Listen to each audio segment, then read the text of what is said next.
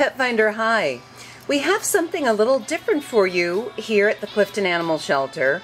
Uh, today we have five baby, baby hamsters to show you. They're just, geez, they're really young, maybe a week. Uh, they were left in a cage in the park and the police were nice enough to bring them to the shelter where one of our volunteers was happy to take them home and uh, make sure everybody was okay before putting them up for adoption.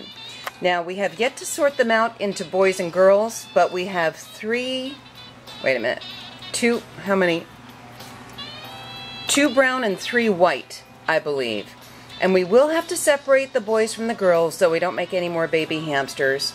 But you can see that they've mastered their wheel. They're cute. They're low maintenance. They're a great first pet.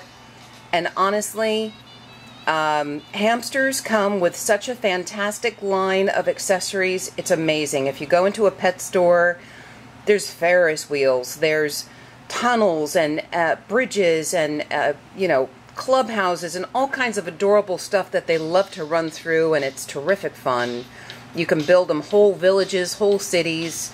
A great first pet for your child.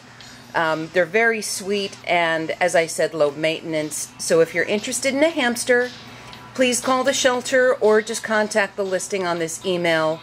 We'll be happy to uh, introduce you to these cute little creatures.